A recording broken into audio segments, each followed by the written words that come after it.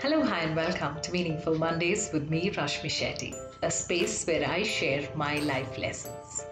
March 8th, world over, is celebrated as International Women's Day. But if you ask me, well, I think the day when you decide to be who you truly are, completely satisfied, perfectly fine with all the imperfections, and accepting yourself completely, is the true Women's Day.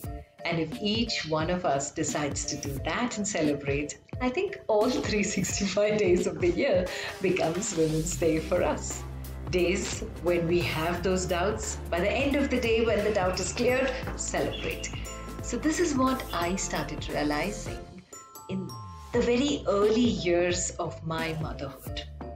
You know, when you're working and you take a break because of motherhood by choice, there comes a time when you question your choice. I belong to a community called the Bunt community where the predominant language is Tulu.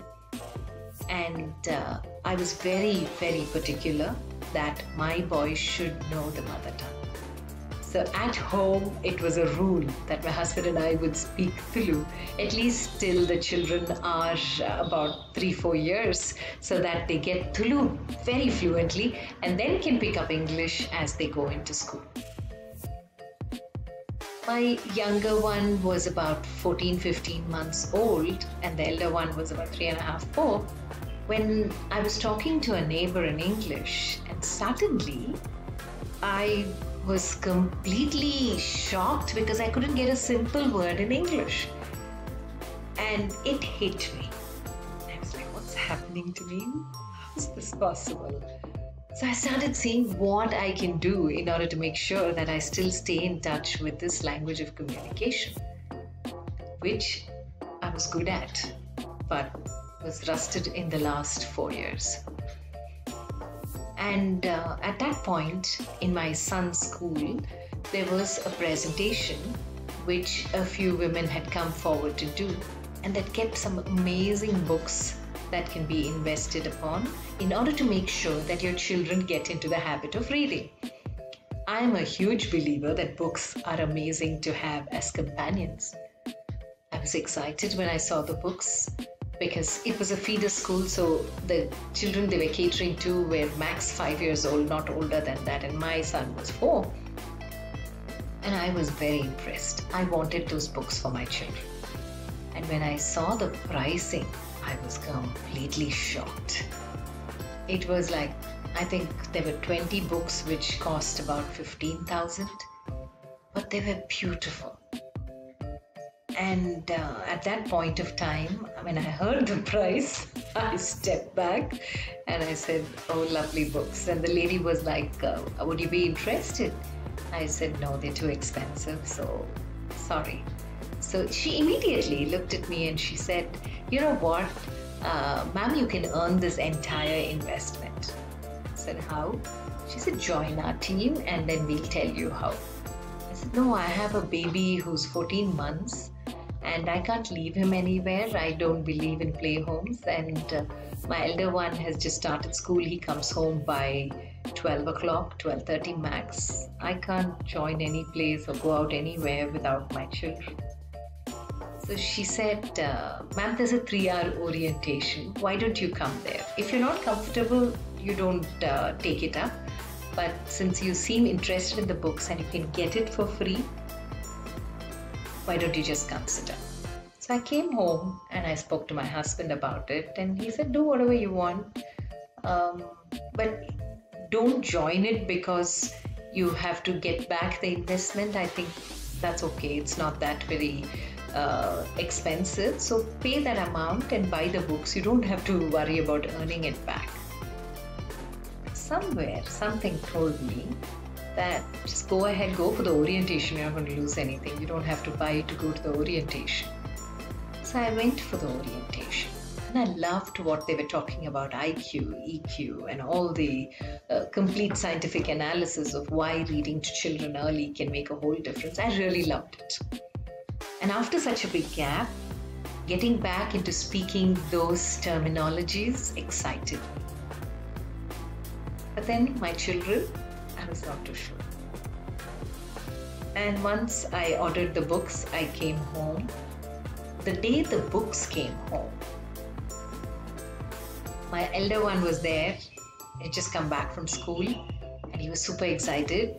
He was going through the pages and he fell asleep. The 14 month old at that point waited till his elder brother went to sleep and then started opening the book and turning the pages and laughing to himself. I knew I had to do this for other mothers. And that set out on a journey to who I have become today. I realized at that point if I had stopped and told myself, no, no, with two children, it's not going to be possible. Just stay back, don't bother. Anyway, your husband has said it's okay. Maybe I wouldn't have done what I'm doing today.